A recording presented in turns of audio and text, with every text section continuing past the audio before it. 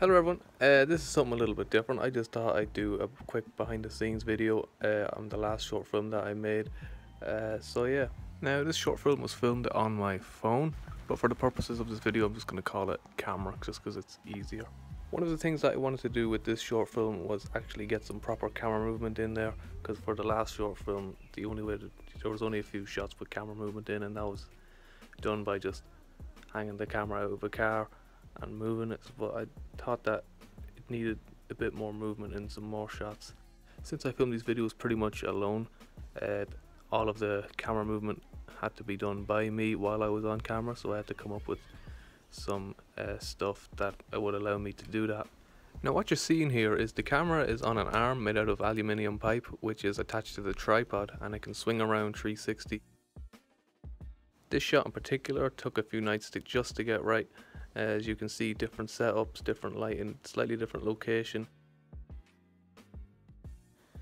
And as you can see this is the original shot and this is the final version.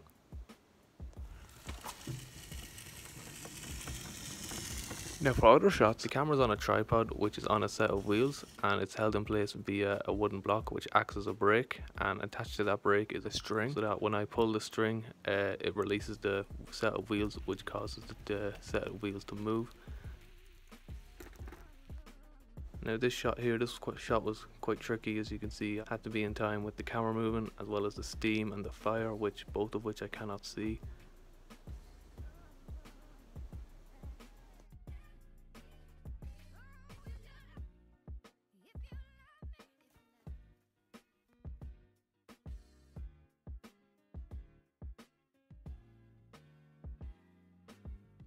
The gun flash effects were done practically, uh, which were done usually like by lighting these sparklers on fire, these Halloween sparklers, or by just turning lights on and off really really fast, or by just waving someone's hand in front of it. This is one of the few shots I had someone helping me.